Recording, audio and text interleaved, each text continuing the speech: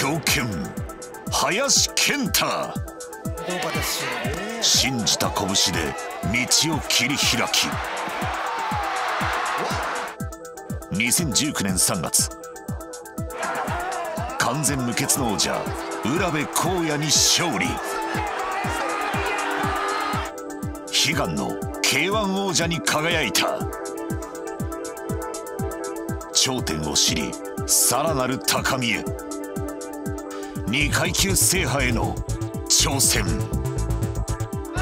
階級転向の初陣となった尾藤十花戦では2度のダウンを奪われスーパーライト級の洗礼を浴びるもそこから怒涛の巻き返しを見せ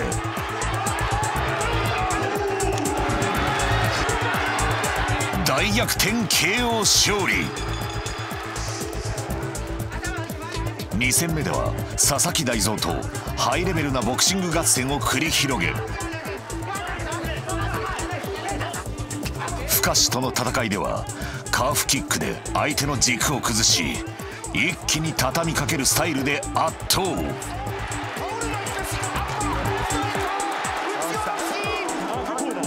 着実にレベルアップしながら歩みを進めている。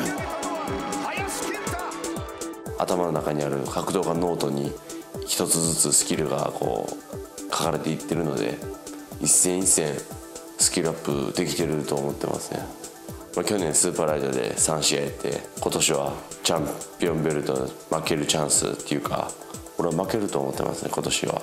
それだけいいトレーニングできてるし自信があるですね自分に今。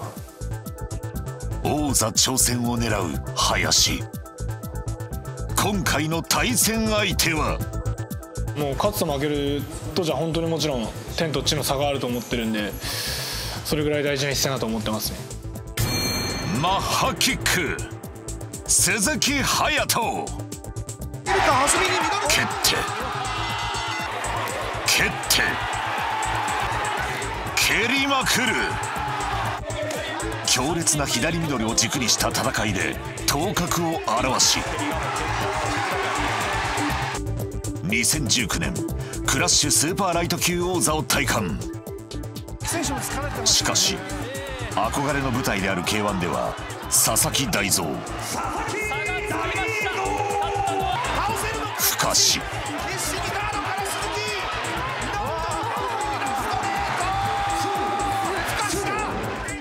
尾藤十花り林と同じ対戦相手にいずれも敗北。その進化を発揮できていない。いやまあ単純にもどかしいですね。うまいことやろうみたいなことを思っちゃってて、まあ、結果全然うまくいかなかったんで、うん、やっぱ自分の武器はがむしゃらさとか、まあ、絶対に負けないっていうその気持ちの強さだと思ってるんでそこを出していかなきゃダメだなと思いましたね。かつての輝きを取り戻すために元 K1 王者との戦いへ。とにかくこの試合勝てばいろいろとつかめるものがあると思ってるんで、うん、とにかくもうこの試合にこの試合に自分はかけてますね、まあ、今の自分はもう失うものは何もないと思ってるんで思いっきりいってやろうかなと思っています。はい。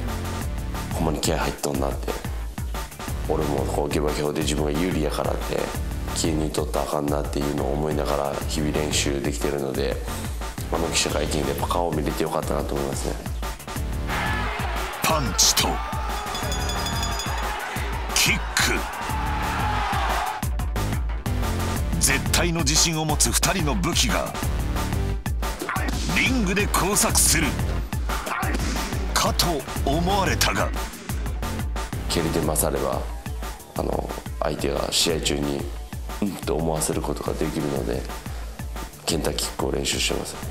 まさか俺より蹴りが強いなんてって思った時に好きになると思うのでと思ったら向こうパンチめっちゃ磨いてきて俺のパンチ超えてきたらどうしよう。と まあ蹴りだったらもう圧倒的な自信があるんでそこはまず負けないと思いますね。